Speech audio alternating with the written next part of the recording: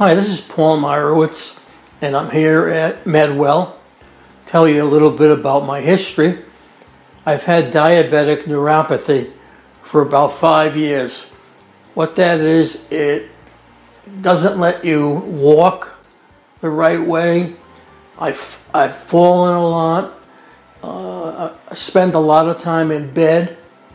But I decided to come to Medwell. I've seen the advertising and I've been coming here about two months. I don't have any pain. I don't have any shooting pain. I'm not in bed and I'm feeling like a hundred percent. I'm able to walk. I have no no pains in my legs. And it's a, it's just amazing. The staff here is, is great.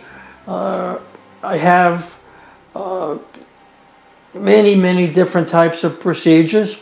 All the people who, who work here know what they're doing, and uh, for a short period of time that I've been uh, coming for uh, treatments, I'm 100% and really happy. And I recommend people who have the same problem as me to come and try Medwell.